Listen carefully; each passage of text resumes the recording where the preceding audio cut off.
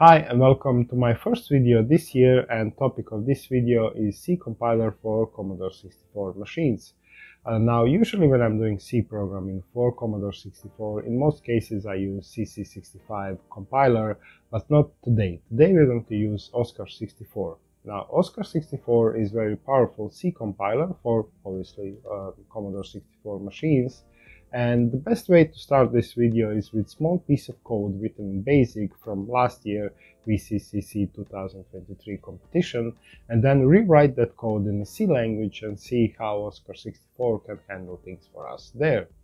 Also, we're going to explore what else can we do with the Oscar 64. So yeah, let's begin.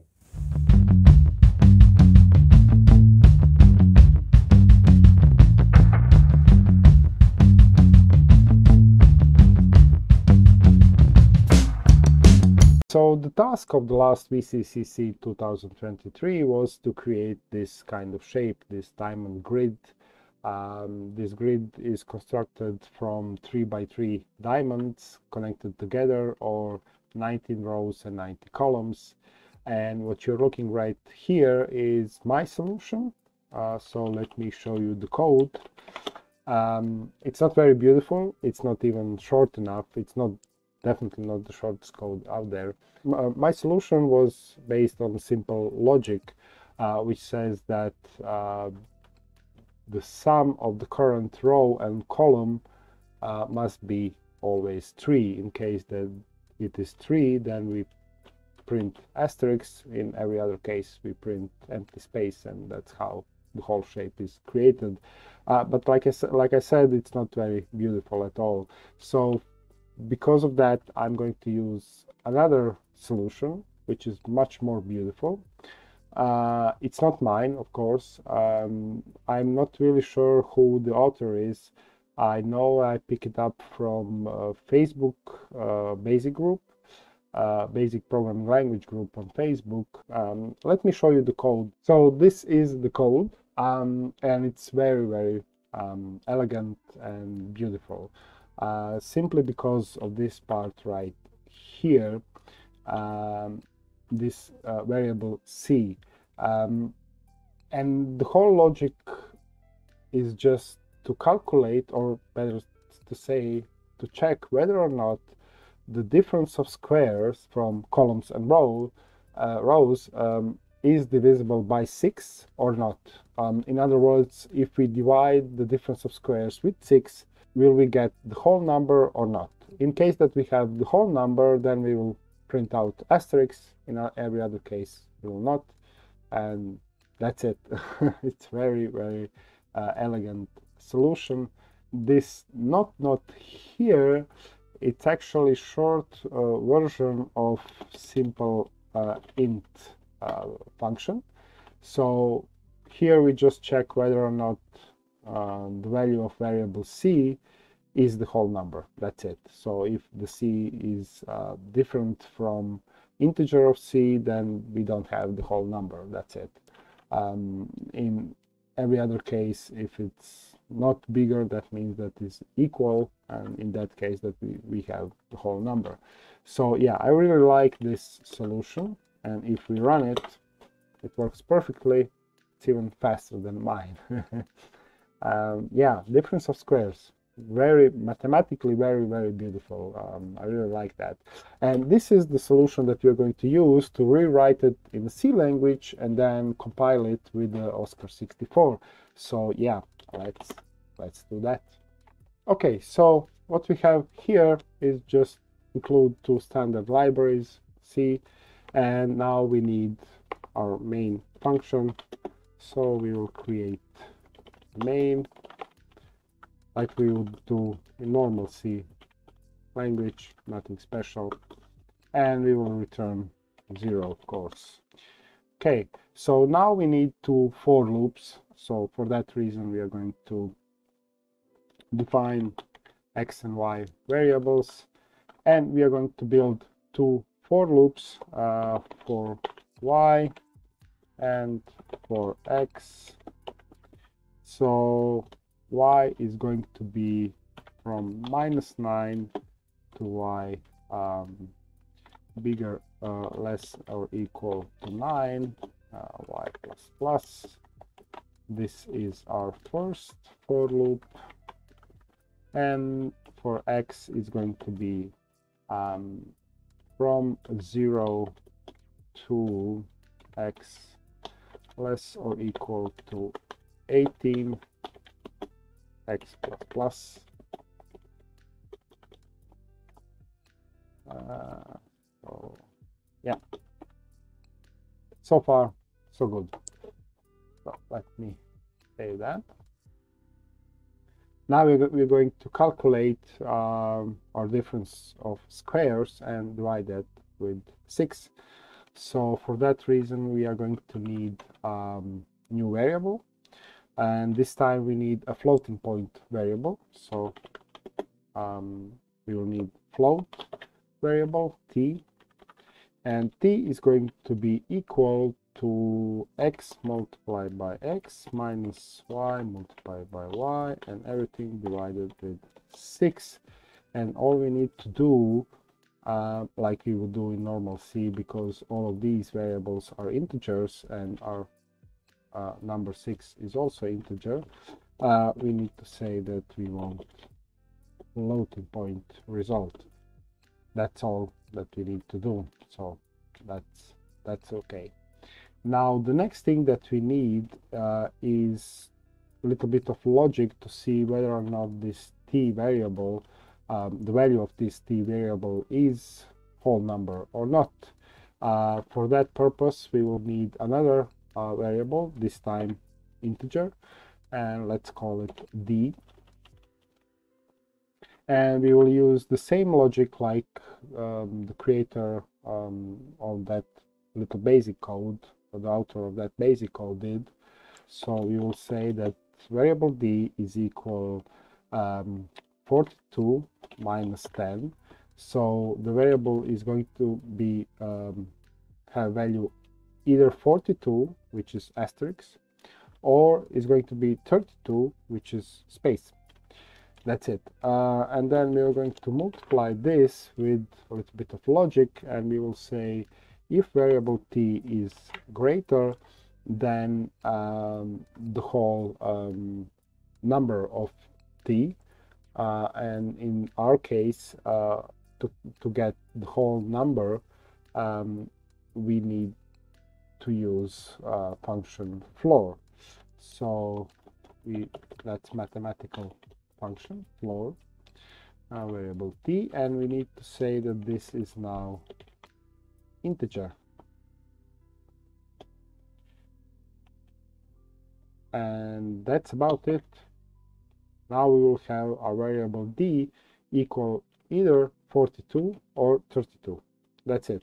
And all we need to do is now print our character d on the screen. And when one line is done when we go through all x values we need to go in the next row. So in that case uh, for that purpose we will print new line that's it. That's the whole code. That's the whole code. And now we're going to build it using Oscar 64 so we have Oscar 64 now we have our VCC 2023 um, C program. That's how I called it. And minus n and it's done. It's done. And what we got now is PRG file that we can run on Commodore 64 of course. So let me do that. So if I list our little program you can see that it has a little bit of basic uh, command inside just to call system function uh, on address 2061 so if we run this here's our code. Very beautiful elegant and working nicely now let me show you something else um, let's go back to the code a little bit more this here this piece of code has nothing to do with Commodore 64 or 6502 CPUs or 8-bit machines. This is generic C code. It's very simple, very elegant. Um, it uses floats, uh, includes standard libraries, and we can build it to run on Commodore 64, but also we can build this to run on any other machine. So the same code, I will change absolutely nothing. Let's try to build it on my machine, on my PC, and see what shall we get. so yeah, uh, let's try to do that. So the same code, we will use GCC compiler, of course, uh, and we're going to build our VCC same code as before um, minus lm minus o and we are going to create vccc 2023 executable file. Yeah. Compiled perfectly so let's try to run it here on my pc so vcc 2023 here we go Look at this. Yeah, here it is. That's the code. Of course, this is possible because we didn't use any um, specific function related to Commodore 64 or 6502 CPUs. So the, for that reason, we can build it for several platforms, including Commodore 64. Um, but this is the beauty of OSCAR 64 it really did the job perfectly. Uh, I mean, we have floating point numbers, we have everything. Uh, we have standard libraries and we have a lots of uh, Commodore 64 libraries as well that I will show you a little bit of later. Um, also, I want to show you something else, which is peek and poke. There are two commands that we really, really need. uh, on Commodore 64. Uh, there is any, there isn't any peek and poke on in OSCAR 64 because we don't need them. Um, that's also one beautiful part of this compiler. The creator of this compiler really did the best to have native C language and native C programming logic built in OSCAR 64. For that reason, uh, we don't need peeks and pokes. We have pointers, and I will show you how we can use them uh, very easily and in even more powerful way than we can do with peeks and pokes in Commodore 64 Basic. So yeah, let me show you that. So instead of peeks and pokes, which are actually um, just writing or reading from certain address position uh, we can use pointers so yeah let's let's define our uh, addresses so let's define our um, screen which is of course at address um, 0400 hex. Uh, of course we need to define this as string of characters array of characters sorry. Yeah. And we are going to define our um, screen uh, color so our screen uh, color is at D12 I believe. D0 uh, 12 no that's border the screen is at screen color and we're going to define border color. 20 as you, as you can see we can easily use hex values here. We don't need to convert them to decimal. Um, so yeah that's also one benefit. Um, so how can we use this? Well for instance we can just say okay um, border color. So let's change border color uh, one. That's it. Um, screen color. Now the screen color is screen color in 3. That's it. And we can place um, some characters on screen so let's do screen on position 0 which is top left corner let's place one simple asterisk that's it and on the second position on the screen we can place next character. And let's do one more. We are going to change border color screen color and we're going to place three characters on the screen uh, from top left corner first three positions.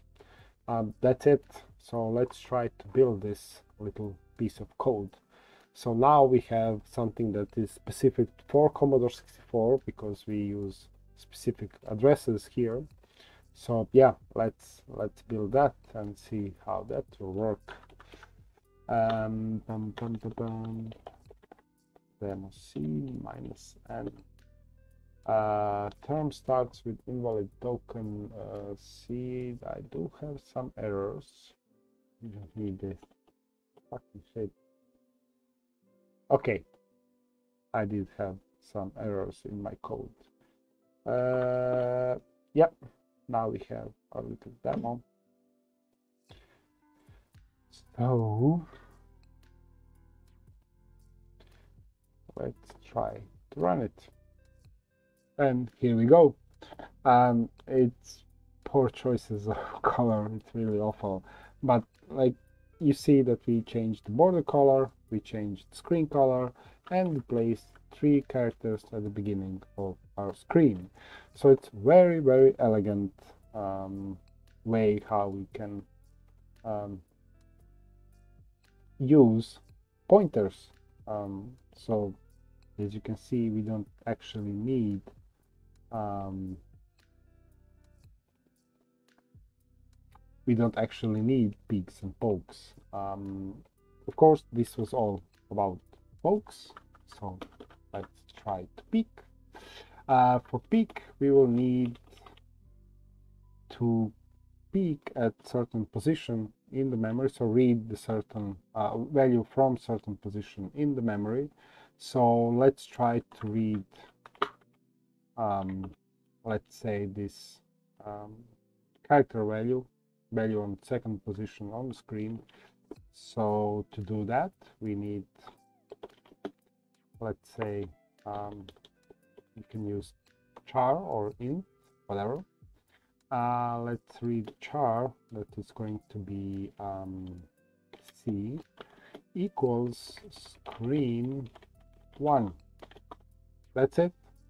And now we are going to print uh, our character as a character on the screen uh, C. Yeah. And we can do something like this. We're going to create new line and then two new lines and then we're going to print the character.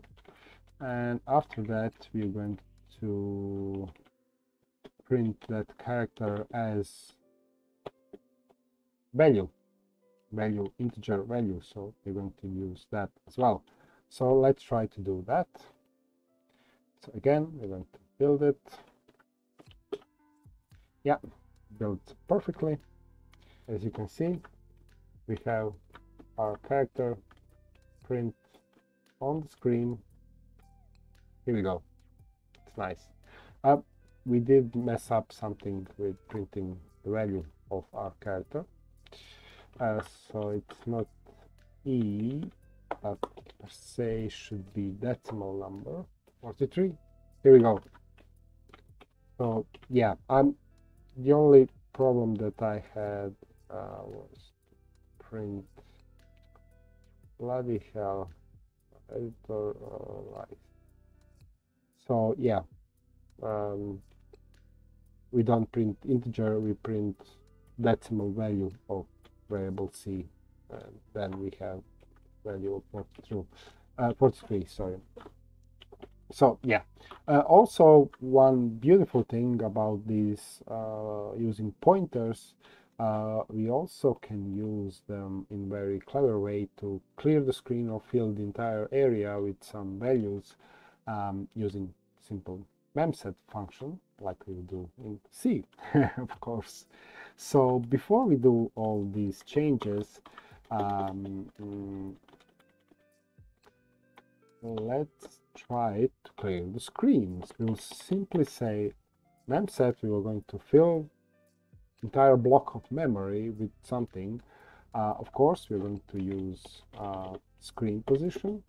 Then we're going to use um, let's say uh, character PETSCII character uh, 160 and how many times we're going to use 1000 times because that's the area of our screen. So yeah this should clear the screen for us. So let's try to do that.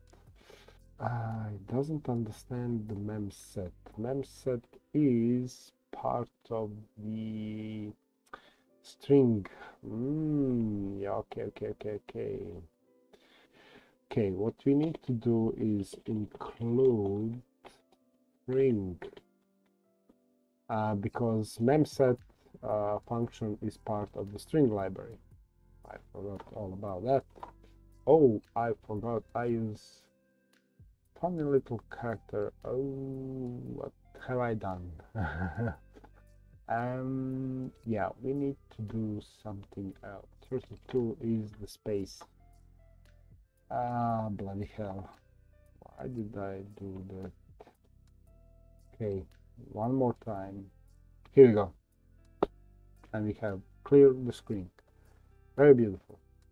And pointers are fast. They are blazing fast.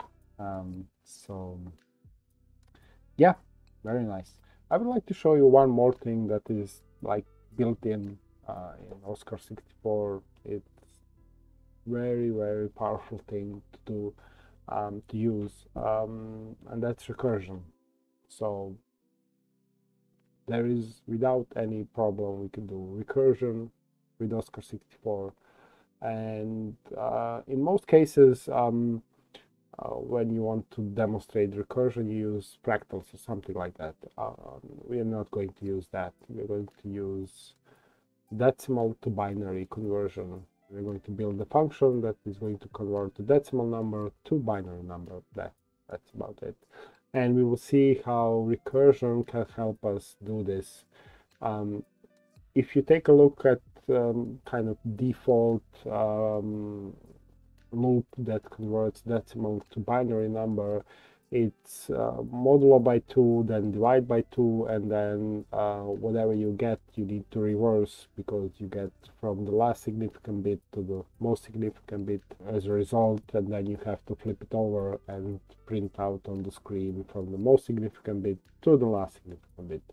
Um, we are not going to do any of that here we're going to use recursion to do that for us without saving into array or something like that. So yeah let's try to do that. That that that will be uh, very interesting to see. Uh, where are we? Okay so we have our main function uh, but like I mentioned before we're going to build new function. Um, let's call it convert.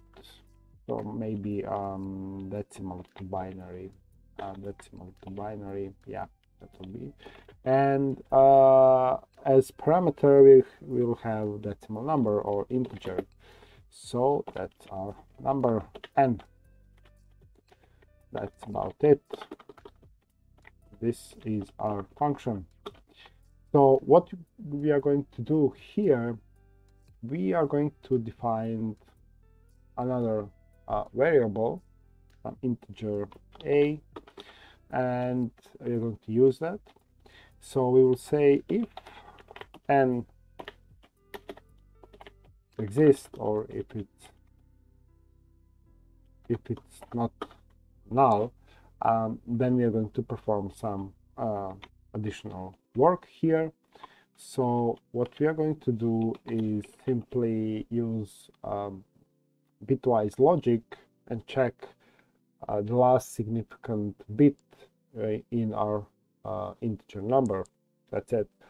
If the last significant bit in our number is 1, um, then our variable a is going to be 1. That's about it. Uh, in any other case, our variable a is of course going to be 0. So either is 1 or it's 0. There is nothing else. After that, we are not going to do anything with our variable a yet. Uh, we are going to shift our number by one position to the right and then call this function one more time. So d to b. And then we're going to shift our number for one position to the right. That's it. And then after that, after we call that function one more time, call itself, uh, we are going to print our variable um, a on the screen uh, in form of um, number like a digit and its variable a. And that's about it. So all we need to do now is call our function from our main function so let's um, decimal to binary and the number would be I don't know 25 maybe so we will convert decimal number 25 to binary uh, representation of that number.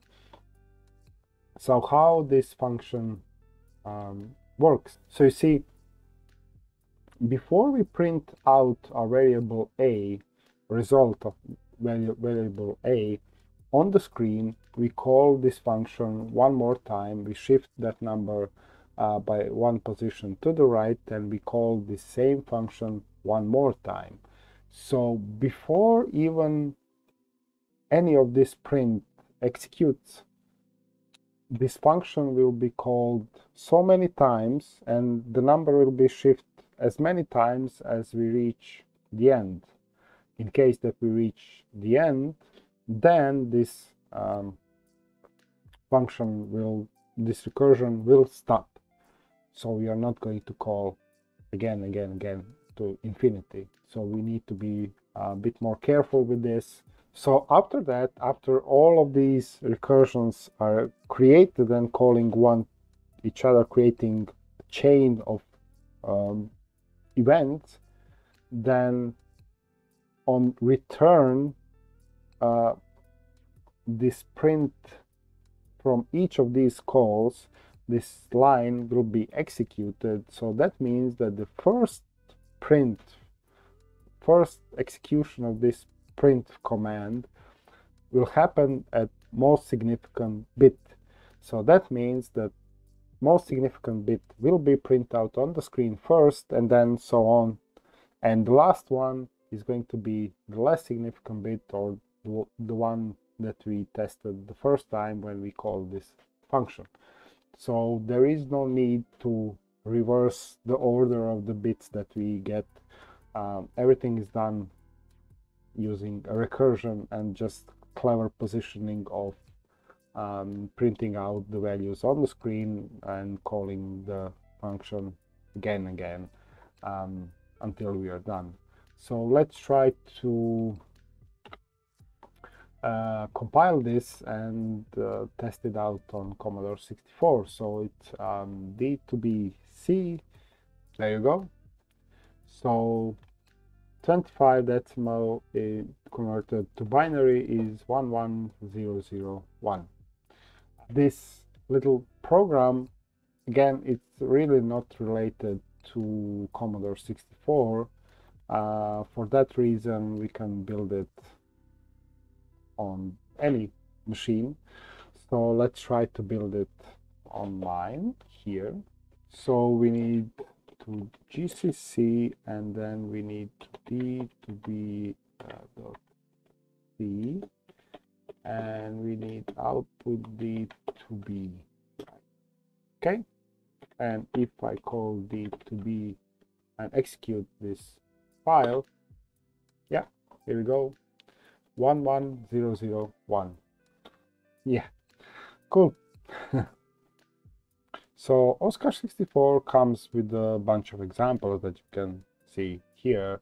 Um, and this is really nice place because you can explore how the things are done and how each of these libraries are used. Um, so yeah, let's take a look some of those examples. So for instance, we have fractals and this is where I play a lot. So let's find something interesting. Uh, yeah. So what do we have here? Yeah, again, playing with the playing with the circle and colors. Okay. Let's take a look at this example. Oh, we have spiral. Okay.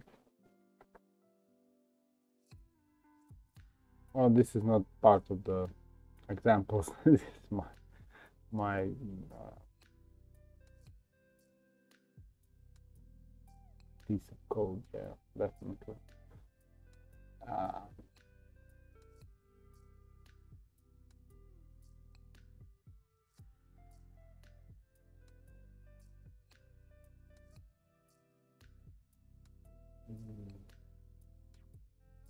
nice. Okay, let's see what do we have next. Uh, fractals uh, games, I'll show that a bit later. So in high resolution mode, yeah, uh, let me show you fractal tree there. So uh, again, we are setting our VIC in high resolution mode. Um, initialize high resolution mode and screen. What do we have here? Uh, and we have the main control function. Uh, okay, and then the main function is right here, and here we have recursion as well. so this is function to draw the line, which is nice and then we have recursion yeah even better example of recursion. Let's see what this does. Okay so we have a couple of c64 um, libraries. VIC is here high resolution bitmap. Yeah very nice. Oh here it is. 10 fast. Uh -huh. Nice.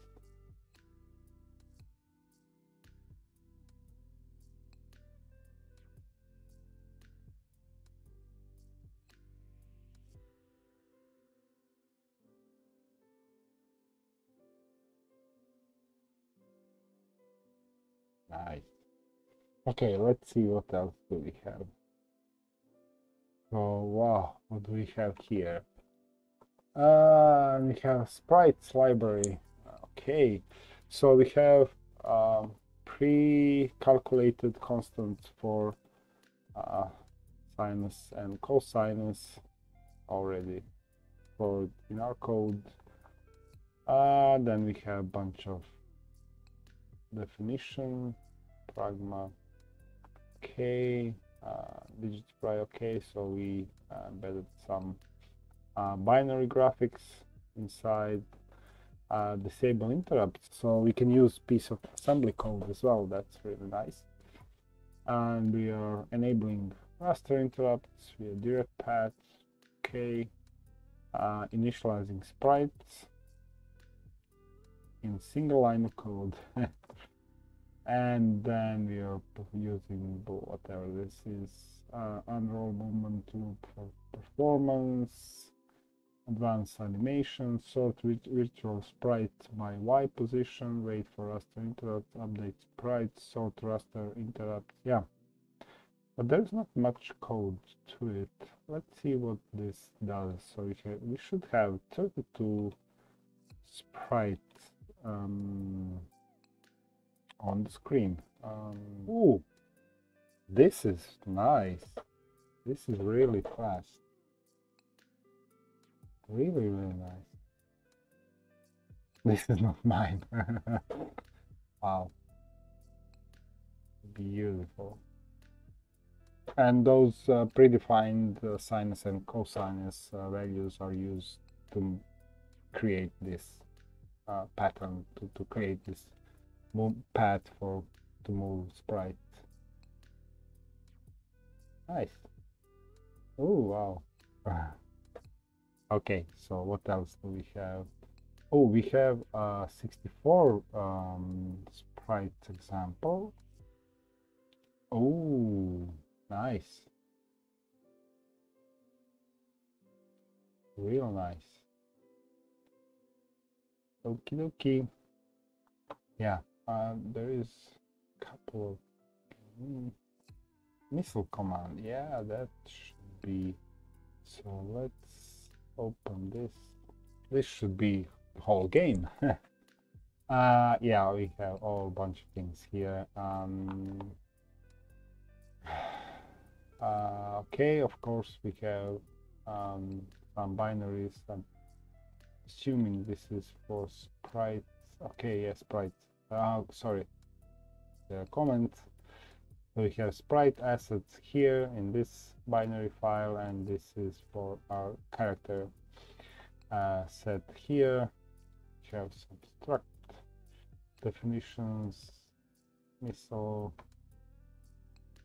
status initial, oh, y, core, core reset, status, explosion start. Yeah, explosion.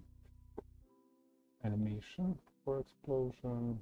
Missile start okay okay let's let's check out the game. Ooh, ready player one. Oh oh wow nice. Oh god damn it. Ooh.